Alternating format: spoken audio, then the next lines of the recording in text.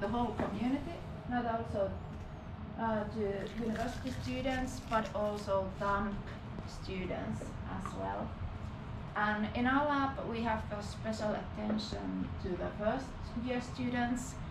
Uh, quite many of them uh, will do some practical rehearsals in our place and and uh, we also organize these tours to first year students a lot. So the basic idea is that if the students gets to know the Fab Lab and its services, it, he or she can use the use the place uh, on whole, whole whole the period of, of the study. you can just take ready made uh, yeah. Like okay we don't want them to print the uh, objects that are ready. Like there are different kind of models like skulls and uh, yeah but that's not the point. We use the basic shapes in the Tinkercad to build something. Maybe a keychain it's uh, it prints pretty well pretty fast. And it leaves a room for creativity so we found a local yeah uh, establishment for BTT. Oh, let me get back so you can They should be see. very short in BTT here or something.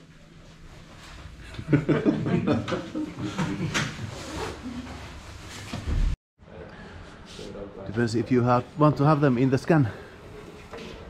No, uh, I mean it's better not to because this is something that you can then add after. You could 3D model glasses and then put in the model. You could uh, make a customizer of two or more afterwards. That would be, um, you, you know, and, and the glasses they are mm, they are reflective and uh, they have these mirrors and it can result into scanning the, the face features in a wrong way. Um, yeah, so I use this button to turn it on, obviously, so there's only one button, uh, has the regular symbols for turning it on and off. And uh, it's going to open up the the project view. Um, I could also show it in front of the camera here. So it's going to open up the project view, and it has a nice touch screen, and you can scroll through all the projects that have been done here. And what we want to do is um, to create a new project. And for that, you hit the new project button, and uh, yeah, it automatically starts the enters the scanning mode, and uh, now you'll be able to see, you know, once you point it at an object, that there's a geometry appearing. So there's, um, so you can start, you can start to see the, the object, to the model, and once you move closer, it becomes red, and the optimum is green. So you should keep the scanner at a distance that uh, uh, that indicates that the surface is green. And um, for Tuomo, uh, so you don't move. I'm going to move around you. And uh, once the scan is finished, uh, you're going to turn 90 degrees, and I'm going to do another one. So now I'm going to start the first scan from here. So, uh, and to do that, you have to just press this button here, like the, you know, it's just like a gun, so you press. Um, and then I'm going to start also with the surface over here. So you can see that. So always uh, when I'm going to start this with each scan, I'm going to uh, also try to register a little bit of the surface so I can tell what's the, what's the there. So, okay, so I'm starting now. Scanning the surface, slowly move towards the Tuomo. And appears in the camera.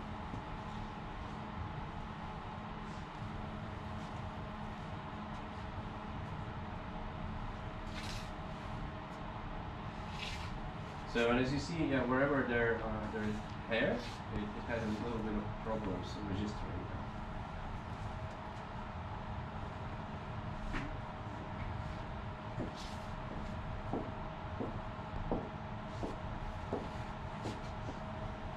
You see, it shows red where the hair is.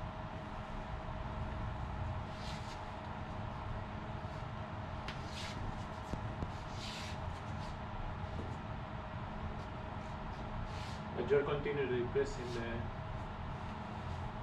the, the trigger or I finish this, uh, the current scan by pressing the trigger again. And um, there might be a better method, but um, usually to start the next scan, you have to exit to the project view and, and then enter it again, and then it's going to register a new scan. But what we can do at this phase is at least you know, enter a new project view.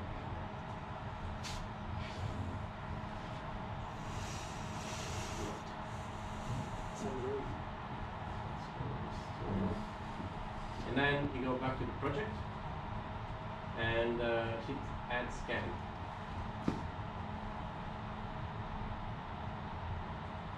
And now uh, Tuomo turns 90 degrees, let's say clockwise. No, no, only 90 degrees. Okay, let's start again. So I'm going to start from the surface.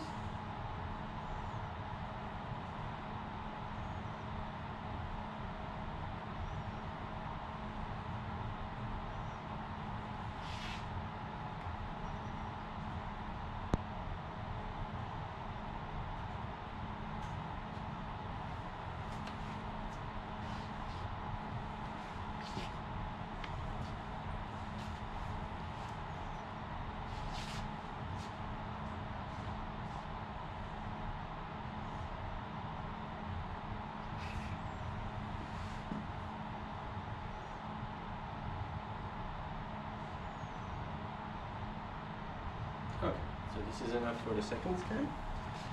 So again, I'm gonna go back to the project view and select another add scan. Now Tuomo turns another 90 degrees facing that way. Again, I'm gonna start from the surface.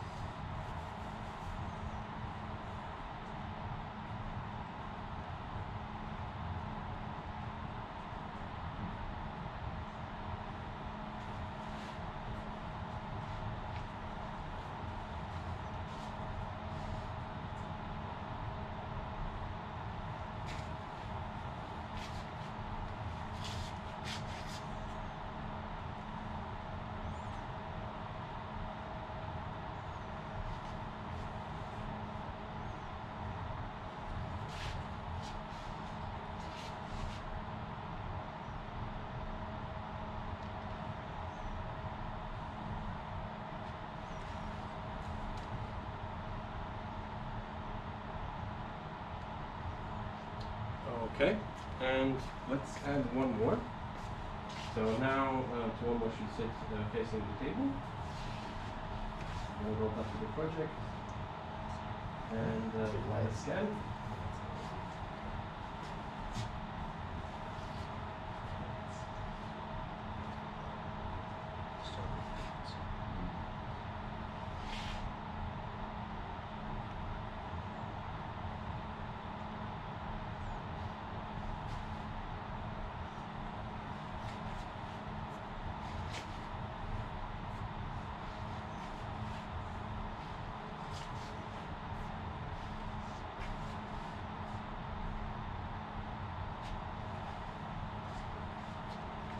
Try to capture more of the head.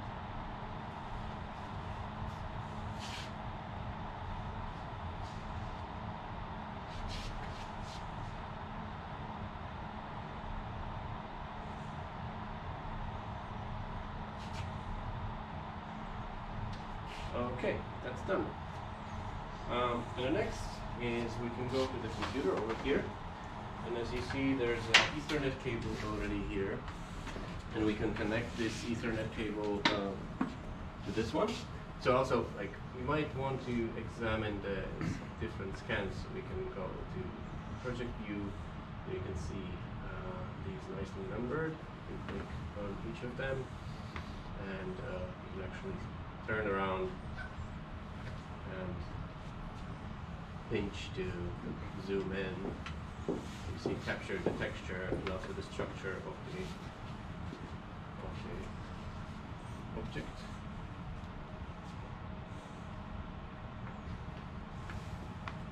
So.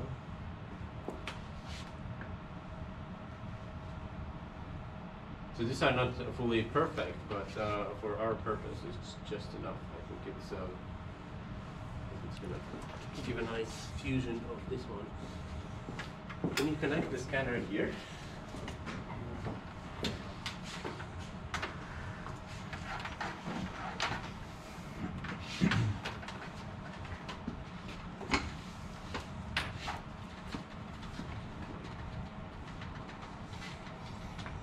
the password is coffee.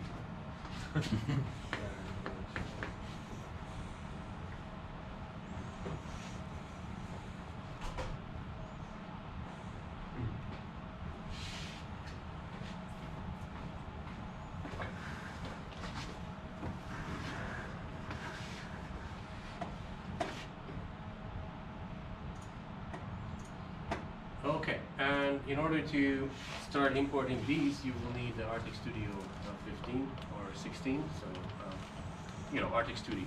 let- Let's just say so. Whatever, uh, whatever version you have, it works. I think the older versions might not have support for uh, latest scanners.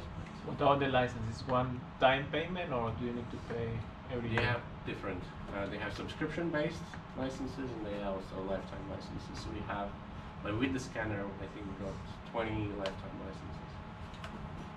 Um, and yeah, here you can use, uh, you know, the scan button to start scanning. With the, that, that's the flow that you use with the Artec Eva, for example. Or in this case, you can import the scans from Leo. Select the scanner. and here we have the project. Select the project and hit import. You see, it's like really nice interface, like straightforward. You know, Mm. Uh, Easy enough. Easy enough, yeah. So if you do not know the terminology, then probably it's a little bit harder.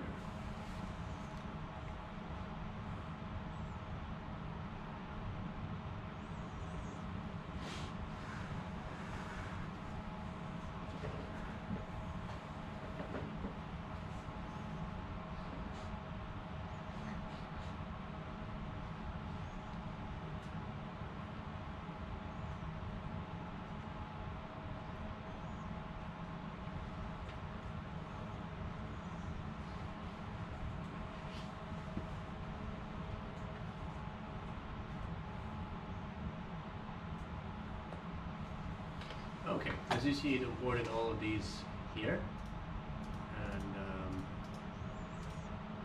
you, you can load them and show them. Yeah. so now these were all together. So here you can take a closer look at them. So this was from the back side. Quite good. Mm. Uh, this was from yeah from one of the sides. I think we did miss a little bit of the chin, so that's gonna be a problematic part. And it's always difficult Mm. part, you need to Yeah, because mostly you just forget.